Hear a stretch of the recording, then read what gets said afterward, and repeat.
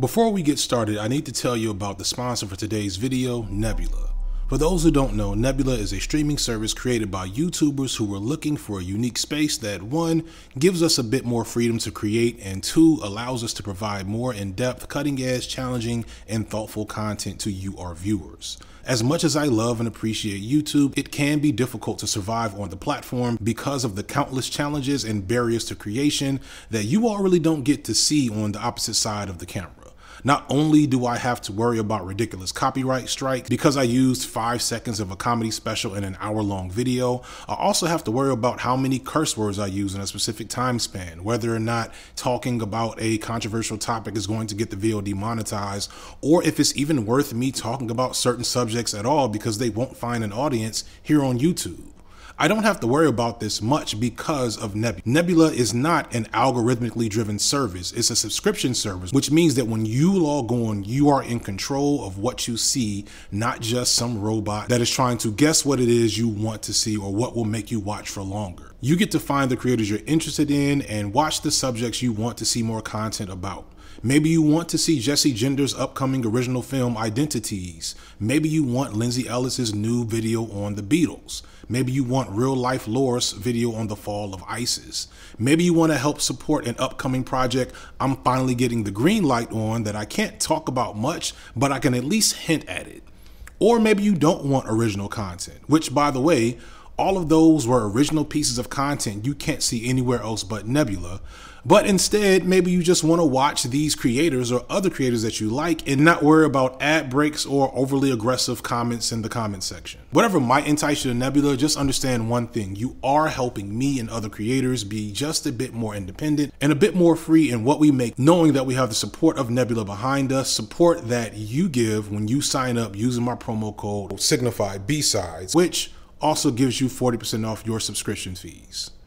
Thank you so much for watching this video and this ad read. Shout out to the people at Nebula for supporting the video and now on to the video. So Dave Chappelle released his newest comedy special on Netflix this past weekend and with it I think it's time to revisit some of my old takes on Dave. Back in 2021, I think, I did a video called Dave Chappelle Only Tells Half the Truth in response to his special, The Closer. And I made that video because I was really frustrated with the fact that a lot of people who I was in a community with, or at least was connected to, didn't seem to realize how harmful Dave was being in that special. People don't know trans people, don't know enough about the trans experience, and don't really understand that Dave was kind of talking out of his ass. They kept on saying Dave is the truth for saying what he has to say, not realizing Dave didn't know what the fuck he was talking about. And I tried to be as nice as I could with it to, you know, illustrate the problems of what Dave was saying while not alienating people with the fact that they also don't know what the fuck they're talking about and it's a pretty successful video. I have a ton of people that tell me that watching that video helped them see things differently. So I look at that as a legit win in my book to know that I made something that helped people understand something that, you know, needed to be understood better. And now, two or three years later, after watching his newest special, The Dreamer, I can say without a doubt that I was cooking when I made that shit. Like, I was basically looking into the future. Like, regardless of the response it had in the moment, I don't know if any video I've done has so perfectly stood the test of time. I give myself six out of five stars. Would recommend because The Dreamer, Dave's newest special, it felt like Dave Chappelle watched my video and tried to find as many ways to prove that I was completely right in my analysis of him. So let's break this down. First, let's get some bullshit out the way whenever I challenge the status quo for some people around not being an asshole to the LGBTQ community, I always get some of the same responses. Number one, why are y'all trying to cancel him? First off, clearly Dave cannot be canceled. Two years ago, we had the same exact problem and he barely skipped a beat. In fact, he signed on for more specials with Netflix in the middle of all the controversy. Rich people don't get canceled to the point where they lose their ability to continue being rich and famous. And for comedians in particular, it gives them this special edge that they're saying the thing that nobody wants them to say, which is like it doesn't make sense that nobody wants them to say those things when they keep literally getting paid to say those things. What's happening was people were critiquing Dave. They were telling him that his jokes were bad and he should stop making them. What you all are calling cancellation is actually criticism. Stop being babies about it. Furthermore, if he could be canceled, good if there were a comedian making fun of black people the way that Dave makes fun of trans people, we would be on their ass. We would have gotten them off the map as quickly as possible. There's only one comedian that dares joke about black people in a semi-negative way, and that's Bill Burr. And I've never heard any black people complain about him because unlike Dave, it's clear he has some familiarity with black folks to make jokes that aren't the equivalent of chicken and watermelon jokes. Well, you know what? I'll get to that later. Number two, why must he agree with their lifestyle? Why can't he have a difference of opinion? Y'all, no one is arguing about this. This is something that people do when they have a fundamental and viscerally negative response to an issue or an ideology that is now socially unacceptable to have a negative response to. AKA, you're bigoted, but you don't want to admit it. So you just say, well, it's his right to be bigoted. They never want to explain why their opinion or ideology is not wrong. They just want you to leave them alone while they share that opinion or ideology that is overtly harmful to millions of people, maybe in a comedy special.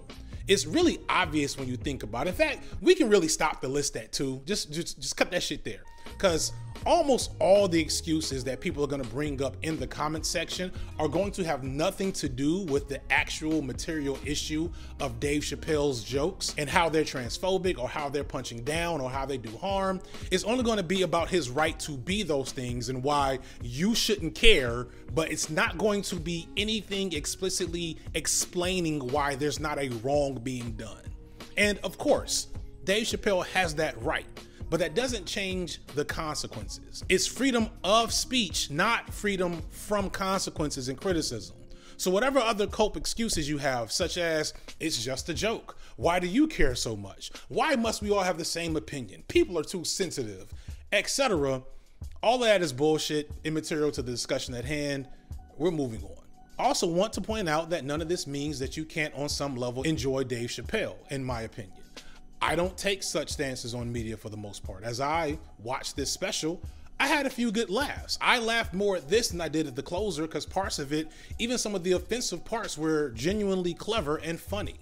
I didn't find the trans jokes funny, and I'll explain why in a moment, but I did get in some good laughs. None of this means I can't critique it or point out its issues. The first Black Panther movie is one of my favorite movies of all time, and I made a 90 minute video on why it has a ton of problems. I did the same thing to Lauryn Hill, Donald Glover, etc. Please, if you take issue with something I say in this video, or if you're one of those head ass people that's like, why you always gotta talk about the thing and analyze stuff, just don't watch my shit. and, and, stop leaving these comments. Because if you leave that comment, it makes YouTube put my shit back in front of you. I mean, you can keep watching my Obviously, you can keep watching and keep commenting. That pays me. But like, I'm making fun of you on my head and sometimes in responses to your comments. But we're, we're off track. We're off track. We're off track. My bad, y'all. My bad. What I'm trying to say is if you're going to take the time to leave a negative like disagreeable comment. Take issue with the argument, not the surrounding details. None of that helps me see anything differently. It will mostly be ignored, and I will think you're stupid and bigoted, but too stupid to realize you're bigoted. You, you get me? Just, just, just saying. So, on to the Dreamer. Dave did something that I thought was really disappointing for a comedian of his stature. Just shows kind of how much he's deteriorated since his Killing Me Softly days, which is what he talks about at the beginning where Dave spends like 50% of this special, not in a perfect half, but like at different times, lampshading himself over and over while calling it a joke. So, what do I mean by lampshading? Lampshading is when a movie or show or some media purposely points out something that's dumb and makes no sense within it as a way to wink at the audience, hoping to disarm criticism of something that's dumb or makes no sense within it. It's them letting the audience know that they know that the thing they're doing is dumb, but to just go along with it. We're having fun here. Just just just go with me here. For instance, there's that one moment in the Avengers Age of Ultron where there's literal gods and green monsters and people with magical powers fighting in the city. And here's Hawkeye with his bow and arrow, and he has this whole speech about how he knows it doesn't make okay, sense. Look, the city is flying. We're fighting an army of robots. and I have a bow and arrow. None of this makes sense. I'm hit and miss on this in media because sometimes it is funny, and as a creator, I sometimes do feel like I need to signal to the audience that I know something doesn't quite add up, but there's just to go with it, right? But in other situations, it's just really lazy and more of a crutch for poor writing or bad jokes. And in Chappelle's case, it's like, again, 50% of the jokes or at least specifically almost all of the jokes that he makes at other people's expense. So what he does over and over in this special is sly ways of announcing that what he's doing is offensive and not inherently funny and punching down, and then does it anyway. I ain't doing trans jokes no more. You know what I'm gonna do tonight? Tonight, I'm doing your own handicap jokes. well, they're not as organized as the gays and I love punching down. And that in and of itself is supposed to be funny. He switches from trans people to people with disabilities for a second, and the whole punchline is just, look, I'm so offensive, I'll even make fun of people with disabilities in 2024. Isn't that funny? Isn't that funny? Isn't that fun? If you're not overly critical, you'll let him get away with it. But if you're at all critical and not easily amused by marginalized people being made the butt of jokes, then you'll realize that no actual joke is being made. It's just us laughing at Dave Chappelle's capacity to be offensive, which at this point, I don't find all that funny. I stopped finding that funny a decade ago when I stopped watching The Chappelle Show. Damn, that's two decades ago. There's a few clever moments in his offensive jokes, but for the most part, is him being lazy and punching down. Two things that he openly admits during the show that I accused him of in my video two years ago. But again, he admits them jokingly to lampshade what he's doing. He knows people are gonna say that he's punching down, so he says, Look, I'm punching down, before then punching down. So now you can't complain about it. No, no, no, Dave. It's just lazy and it doesn't really work. And the reason it doesn't work isn't inherently because I or anyone is too sensitive, even though that would be perfectly fine in my perspective. If you're trying to be offensive, don't complain when you offend people. Like, that is what it is. But to me, it doesn't work because I don't believe he understands what and who he's talking about, nor does he actually respect the community he's making jokes about. Like later in the set, Dave makes a racist joke about his own wife, who I believe is Filipino, and I laughed hard at it because it was a lowbrow, dumb joke that came out of nowhere and it was incredibly well timed. So it was funny to me. You could also say that it was inherently making fun of the nature of stereotypes, not so much just being a stereotype. And more significantly, I don't think that Dave has any real issues with Asian people or his wife or her looks. And he eventually turns that same joke against himself soon after. I said, How'd you open that phone? She said, It was easy, nigga. All I had to do was mash my nose and go like this. And it opened right up. I said, What the fuck? So we have all these other elements to the joke where it doesn't feel like punching down, it feels like including a community within the comedy. That's what Dave often insinuates that he's trying to do, but it doesn't come across because you can make certain jokes about, say, your loved ones and friends, and the humor can be the focus as opposed to whatever offense that might be being made from the joke.